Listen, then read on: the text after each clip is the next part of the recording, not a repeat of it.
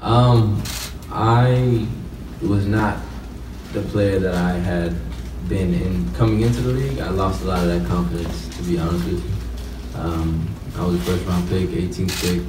Uh, I came into the league, broke my ankle early, and um, I just never played with that same level of attack, same level of mentality that I had. And um, I mean, that's nobody's fault. That's on me. But going overseas, it just it just brought that back out of me. It made me responsible to be the man on the team again. Um, when you go over there, uh, they they make the American is your job as the American guy is to be like the point scorer, the the man. So I hadn't been that that guy since college, and uh, to be able to go over there, play 30 minutes a night, and um, just have that responsibility again, it gives you that confidence again.